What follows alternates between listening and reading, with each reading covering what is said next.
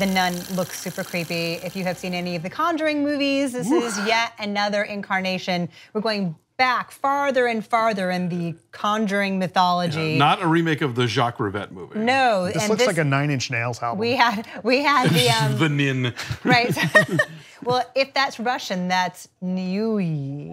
Right, so anyway, right. um, so we have the the nun is the creepy image that you see in the second Conjuring movie. So the Annabelle movies Okay. go back in time with the first Conjuring. Doesn't she pop up in the first one too, or no? I don't know. She's on the wall. It's very disturbing. And so um, we were we are now going to have a nun movie um, at a convent in Romania where scary things happen. And um, Taissa Farmiga Ooh. is Right. starring in Okay. it. Sister of Younger Vera- sister of Who Vera was Farmiga. in uh, the first two Conjurings? Right, so that's interesting. And also, Taissa Farmiga played a younger version of Vera Farmiga in, In Higher, Higher Ground, Ground. which is a great movie about religion that we like a lot. Yes, the more people should see that Vera Farmiga directed. and the younger Yes. Farmiga is in American Horror Story, I believe, as well. Uh, she was wasn't she on Bates Motel?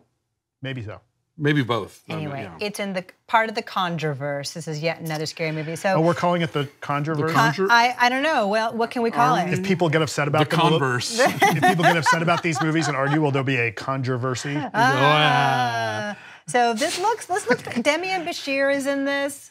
We had we had one we had one crappy Annabelle movie and one pretty good Annabelle movie. We'll see how the nuns. The Conjuring movies are really. the good, Conjuring though. ones are both. Oh, that last one was really scary. And again, Yeah. they do so much so well with just mood and pacing, and yes, and sound design. so uh, we'll definitely have to catch up with disappointed the the lights didn't nun. go off. The Nun is coming out on September 7th. We're going to make ourselves go see it. If we can crawl out of our stupor, we'll, we'll come see it.